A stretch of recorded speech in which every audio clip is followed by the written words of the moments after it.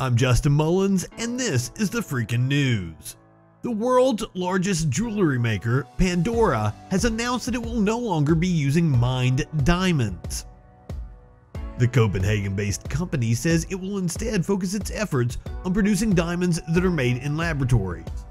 Lab diamonds are identical to mined diamonds, but without the human suffering and blood associated with traditional diamonds. To go along with the change, the company is launching its first lab created diamond collection called Pandora Brilliance. With your freaking news report, I am Justin Mullins. Have a great freaking day.